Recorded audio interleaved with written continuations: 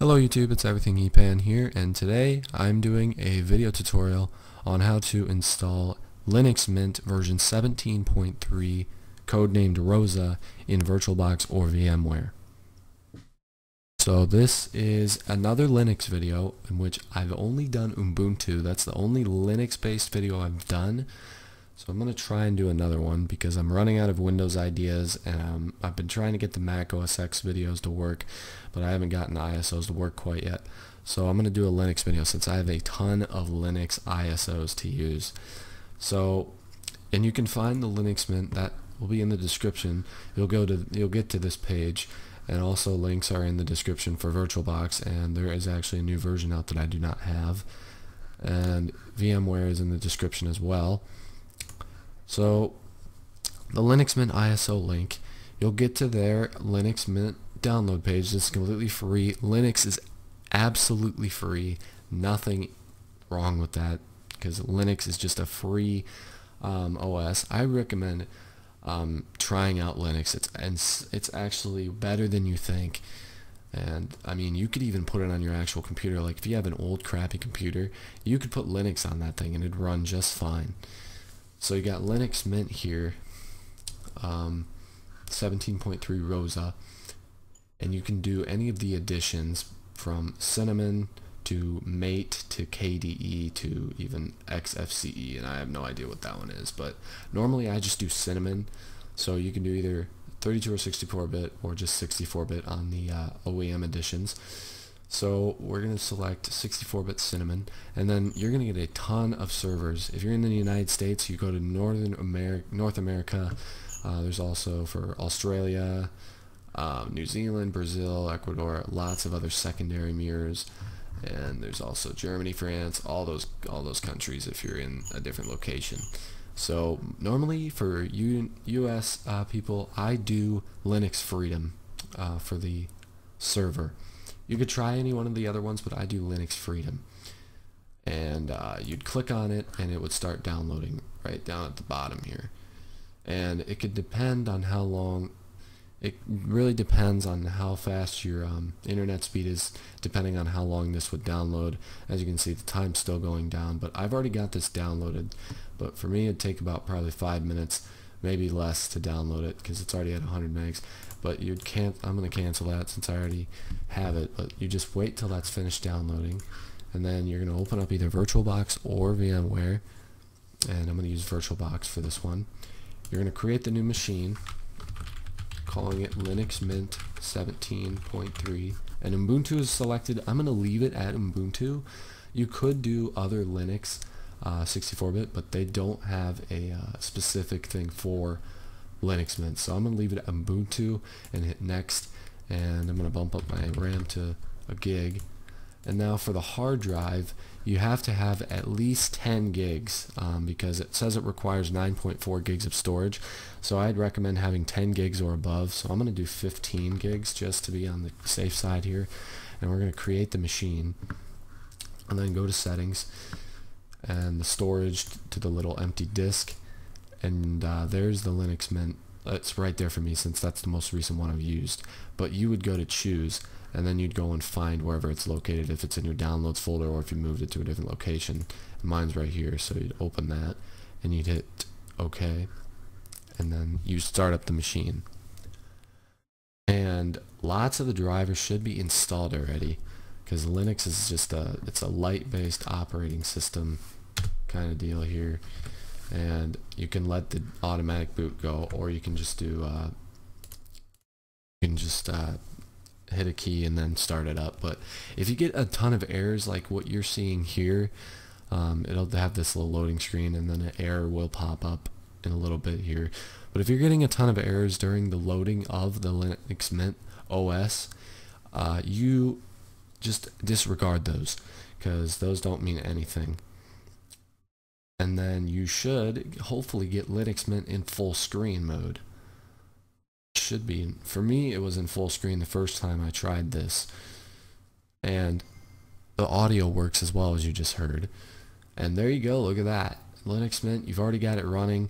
and you could use it without even installing it on your machine or if you want to try it on your computer you can burn it to a flash drive or copy the ISO to a flash drive and you can just run this you don't even have to install it you can run Linux Mint on your computer without even uh, wiping out your hard drive or anything but for users that say, oh hey, I want to give this a try like if I'm actually running a computer and not just running it off a flash drive, you can install it as you can see up here to the install Linux Mint CD icon here. You double click on that and Linux is really fast. Um, it's well not really fast but it can be fast but Linux Mint is not bad. It's I think personally it's underrated. So you go to uh, the install and then it'll say welcome and it says you may wish to read the release notes. Um, you're on the language settings here so you can select your language all the way from A to um, the Chinese and Japanese and the Korean languages but mine's English and we're going to continue on that and see this is where you need both check marks you don't have to have this check mark but you need this check mark it has to have at least 9.4 gigs of available drive space and I have 15 so you can continue. That would be grayed out if you didn't have that. Now this is uh, some options you can do. You can erase the disk and install Linux Mint as just one whole operating system. Or if you have multiple partitions, you can click on something else hit continue and you can look at all the partitions you can you have and you can use Linux Mint as a partition. Like if you want to install it alongside Windows or something you could use Linux Mint as a partition without even hurting your Windows install.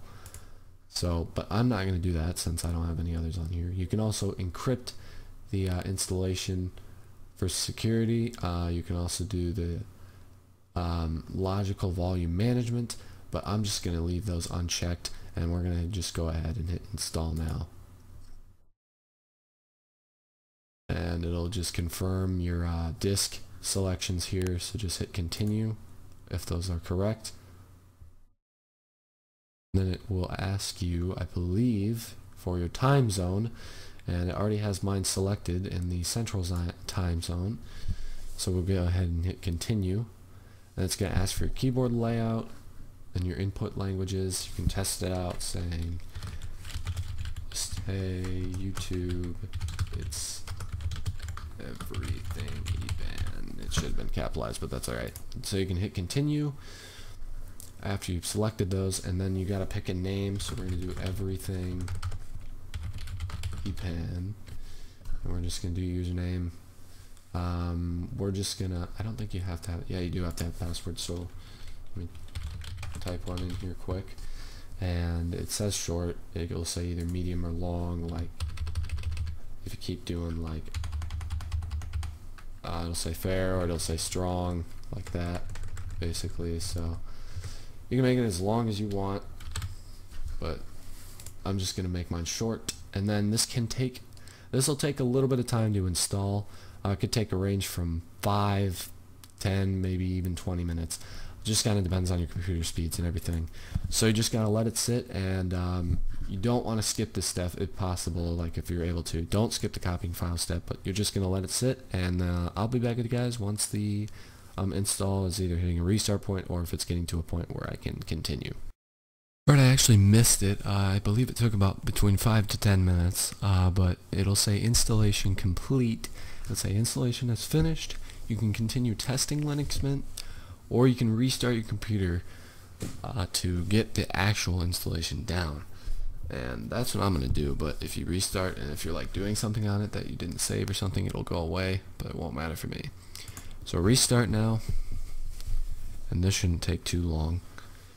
You can uh, while this is restarting when it gets to the point where it's out you can actually take out the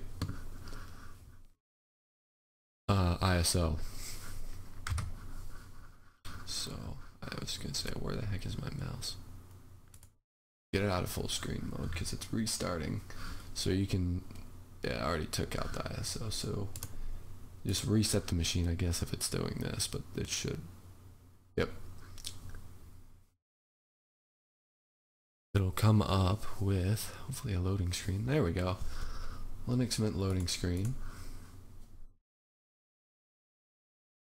Which should not take too long. And you'll go through some more uh, more of the setup during this.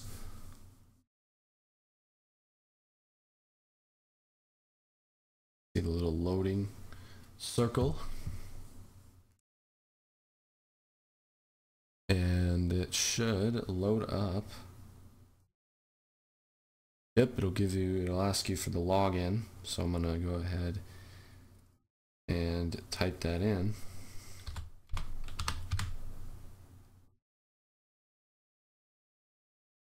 Oh, I have to enter my username.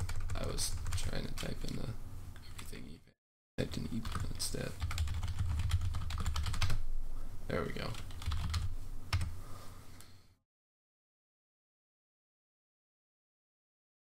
And then, oh, I guess it's incorrect. What in the world? Maybe you have to do lowercase. There we go.